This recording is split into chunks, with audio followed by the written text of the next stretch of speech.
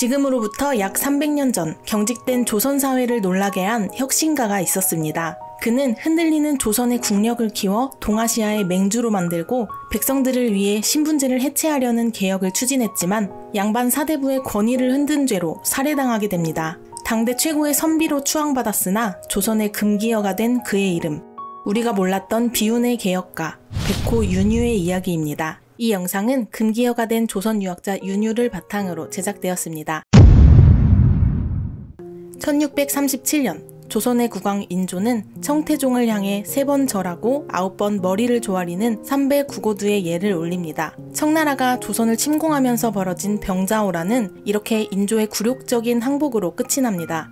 조선 국왕이 삼전도에서 겪은 치욕적인 의식은 조선 왕조가 끝날 때까지 지배층의 트라우마로 남았습니다. 그래서 인조 이후 효종과 현종 시기에는 청나라에 복수하기 위한 북벌론이 정치적인 이슈가 됐습니다. 삼전도의 굴욕 당시 청년 윤유는 전쟁으로 피란을 다니며 조정의 소식을 궁금해하고 있었습니다. 그러다 그는 속리산 복천사 앞에서 송시열을 만나게 됩니다. 송시열에게 인조가 항복한 이야기를 들은 윤유는 치욕감에 통곡을 하며 다신 과거에 응시하지 않겠다고 말합니다. 그리고 좋은 때를 만나 벼슬 하더라도 오늘의 치욕을 잊지 않겠다고 다짐합니다. 그는 정말 그날로 과거 시험 준비를 관두고 학문에만 몰두하기 시작합니다. 어릴 적부터 일정한 스승이 없던 윤유는 경서를 통해 직접 공부했습니다. 덕분에 특정 사고에만 갇히지 않고 자유로운 사고를 하게 되는데요. 특히 윤유가 병법에 깊은 관심을 가진 것은 바로 대의, 곧 북벌을 위한 것이었습니다. 경서의 세계에 빠져든 윤유의 학문 실력이 소문나면서 수많은 사대부들이 그를 찾아와 교제하기를 청했습니다. 송시열을 비롯한 제야의 젊은 학자들은 한적한 시골에 모여 유학의 진리를 논했습니다. 이 시절에 그들은 훗날 서로 죽고 죽이는 비극을 맞이할 거라곤 상상치 못했을 겁니다. 윤유가 만 32세가 되던 1649년 인조가 세상을 떠나고 효종이 즉위합니다. 혼란한 세상에 흉년이 닥쳐 사방에는 도적이 가득했습니다. 이런 혼란의 시기를 어떻게 극복할 것인가에 대해 조선의 지배층은 두 가지 견해로 나뉘었는데요.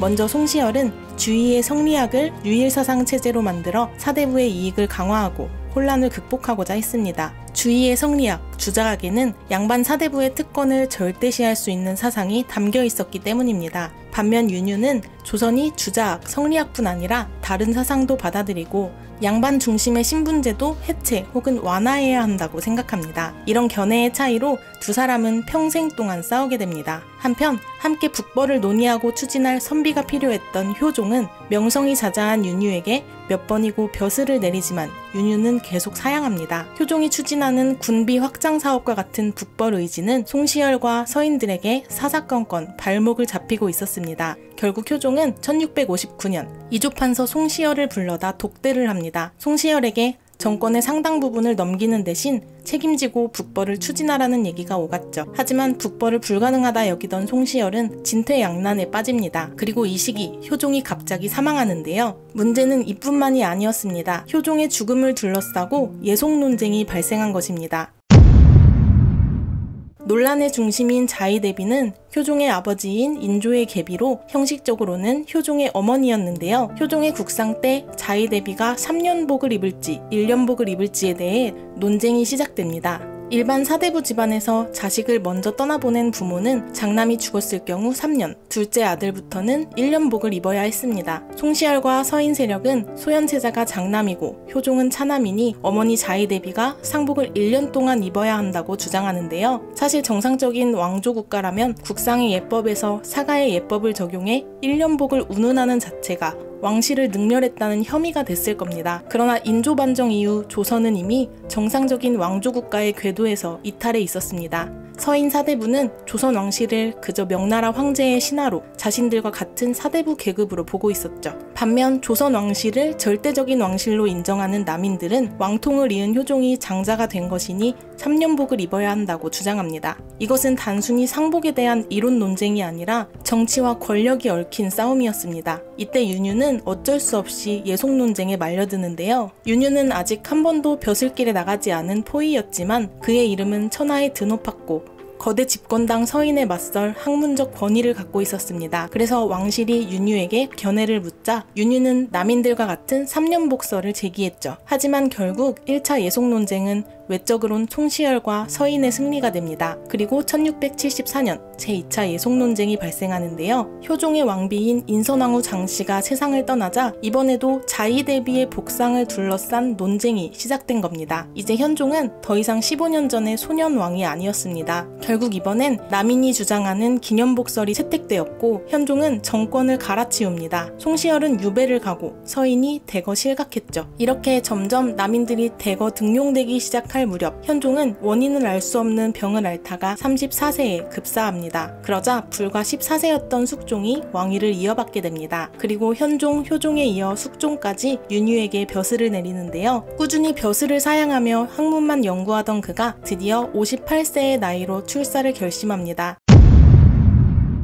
이 시기 청나라 남쪽에서 일어난 3번의 난은 윤유에겐 하늘이 준 기회나 마찬가지였습니다. 당시 청나라는 만주족이 지배하고 있었지만 양자강 남쪽의 여러 지역은 한족 출신 왕들이 다스리고 있었는데요. 청나라에서 이 세 왕의 즉위를 박탈한다고 하니 중국 양자강 이남이 순식간에 전쟁터로 변한 겁니다. 윤유는 청나라가 3번의 난으로 모든 전력을 남방에 전력하는 이 시기에 청나라 옛 수도인 침양을 쉽게 점령할 수 있다고 판단합니다. 남쪽에서 일어난 3번의 난도 막기 어려운 판국에 동북 쪽에서 조선군이 진격하면 두 개의 전선이 형성된 되는 것이었고 청나라는 수습 못할 혼란에 빠질 게 분명해 보였죠. 대만의 정세까지 파악하고 있던 윤유는 반청 연합전선을 결성하여 청나라를 꺾을 프로그램을 짭니다. 하지만 숙종은 자신의 왕위에 조금이라도 위협이 된다면 일체 모험을 하고 싶지 않았습니다. 게다가 그동안 말로만 북벌을 주장했던 서인들이 실제로 북벌을 실행하자는 윤유를 곱게 볼 리가 없었는데요. 서인에게 북벌이란 내부적인 정치 수단일 뿐이었습니다. 북벌론으로 국왕을 압박하고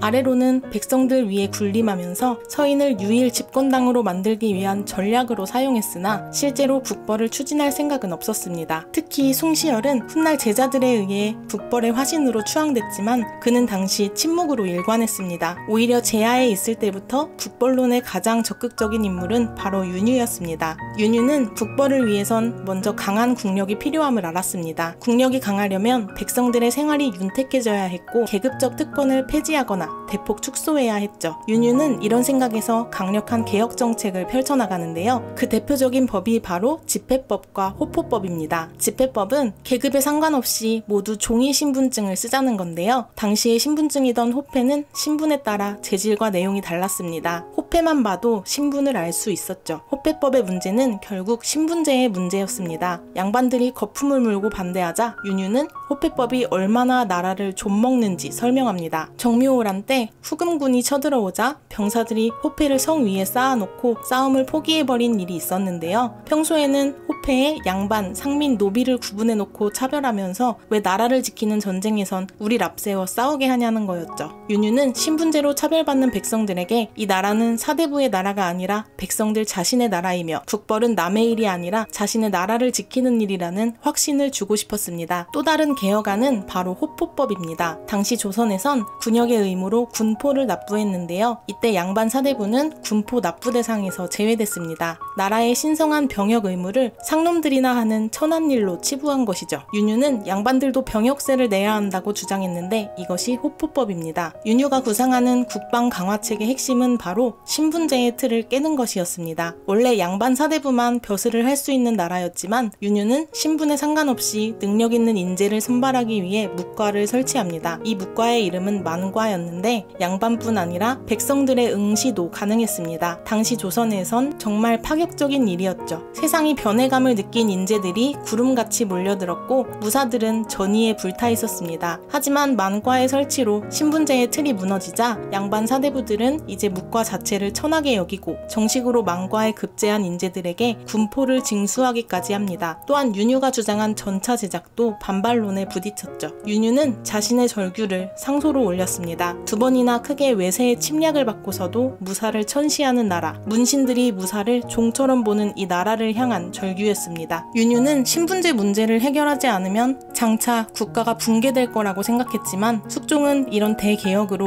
양반 사대부들을 적으로 돌리긴 싫었습니다. 조선 후기 사대부들이 가장 두려워하는 건 신분제의 붕괴였는데요. 윤유는 감히 주의 유의에 맞서 사상의 자유를 논하는 이단아였고 감히 신분제를 무너뜨리려는 위험천만한 인물이었습니다. 윤유를 제거하는 일은 단순한 정적을 제거하는 것을 넘어 사대부의 계급적 이익을 지키는 일이었습니다. 그러 다 숙종 6년 무렵 이제 중국에선 3번의 난이 거의 정벌되어 청나라의 승리가 기정사실화됩니다. 이제 숙종은 윤유와 남인들에게 마음이 떴고 이른바 경신왕국으로 서인들이 다시 정권을 차지합니다. 그리고 서인들은 남인들이 제기하지 못하게 철저히 짓밟는데요. 특히 윤유 같은 인물이 다신 출연하지 못하게 싹을 잘라야 했습니다. 하지만 윤유를 잡아다가 아무리 국문을 해도 사형시킬 죄가 없습니다. 서인들은 그가 헛된 이론으로 민심을 현혹한다 주장하고 근거 없는 영모 혐의를 씌워 곤장에 맞는 형신을 당하게 합니다. 63세 노인의 몸으로 거 거듭 평신을 받은 윤휴는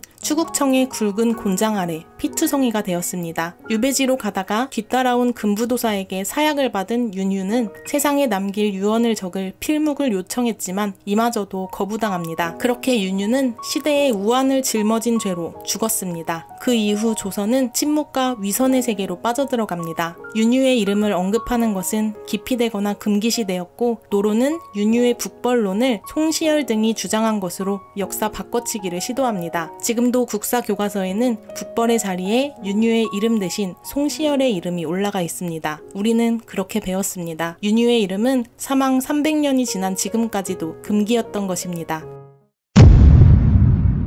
이 책은 윤유의 삶을 통해 나와 다른 너를 인정하지 않던 시대, 나와 다른 너는 죽어야 한다고 생각했던 증오의 시대의 유산을 청산해야 한다고 말합니다. 당대 최고의 선비였던 윤유의 삶을 보다 깊게 들여다보고 더 나은 미래를 꿈꾸고자 하는 분들께 도서 금기어가 된 조선 유학자 윤유를 추천드립니다. 구독과 댓글, 좋아요는 영상 제작에 큰 힘이 됩니다. 원하시는 주제가 있으시면 언제든 댓글로 신청해주세요. 감사합니다.